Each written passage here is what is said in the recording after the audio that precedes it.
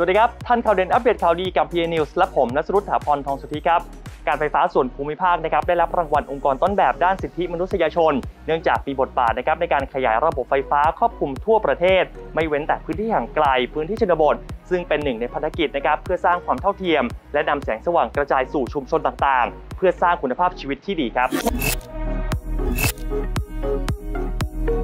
กรมคุ้มครองสิทธิและเสรีภาพกระทรวงยุติธรรม จัดพิธีมอบรางวัลองค์กรต้นแบบด้านสิทธิมนุษยชน ประจำปี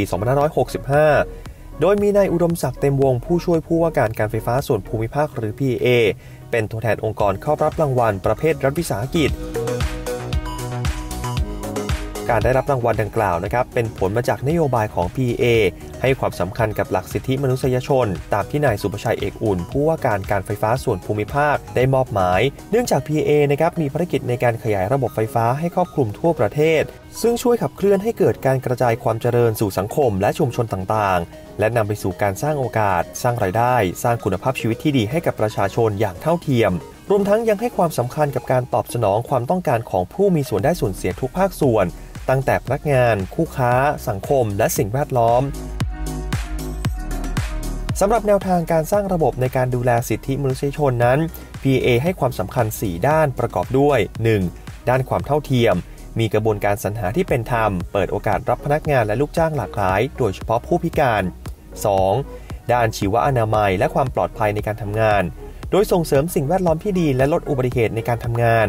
3. ส่งเสริมการจัดระบบการจัดซื้อจัดจ้างที่มีความเป็นธรรมเสมอภาค กับคู่ค้าป้องกันการทุจริต และ 4. ส่งเสริมการจัดซื้อจัดจ้างที่เป็นมิตรกับสิ่งแวดล้อม เพื่อช่วยลดการปล่อยก๊าซเรือนกระจก ส่งเสริมคุณภาพชีวิตที่ดีขึ้นในอนาคต อีกอันหนึ่งก็คือ PA เราเนี่ยมีการมุ่งมั่นที่จะขยายเขต ให้กับประชาชนเนี่ยครอบคลุมทุกหมู่บ้านนะครับ ซึ่งเรามั่นใจว่าการขยายเขต ให้ประชาชนครอบคลุมทุกหมู่บ้านเนี่ยจะเป็นการส่งเสริม การใช้ชีวิตของประชาชนนะครับ มีความเป็นอยู่ที่ดี มีการส่งเสริมการสร้างรายได้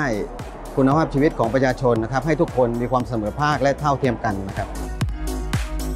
PA นะครับเชื่อมั่นว่าการให้ความสำคัญกับเรื่องสิทธิมนุษยชน จะนำไปสู่ความสำเร็จขององค์กร เพราะเป้าหมายการเข้าไปดูแลประชาชนทั้งในชุมชนเมือง ชุมชนชนบท หรือพื้นที่ห่างไกลให้เข้าถึงไฟฟ้า จะเป็นขุมพลังแห่งการสร้างคุณภาพชีวิตที่เท่าเทียมให้กับประชาชน และตระหนักถึงการอยู่ร่วมกันในสังคมครับ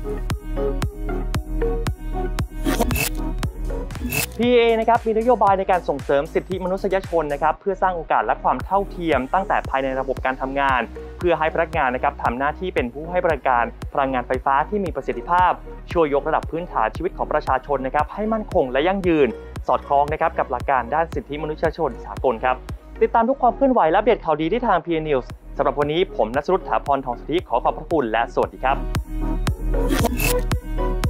บ